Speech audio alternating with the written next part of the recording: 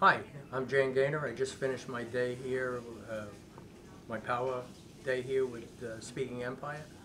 Uh, Dave and uh, Dustin and his whole crew here were just completely awesome. They helped me in so many different ways. Uh, created my presentation. I got to practice my presentation. I got pointers on my presentation. Uh, it, it was just totally awesome. And I recommend it for anybody who's going to do any type of public speaking. Really, really great investment and.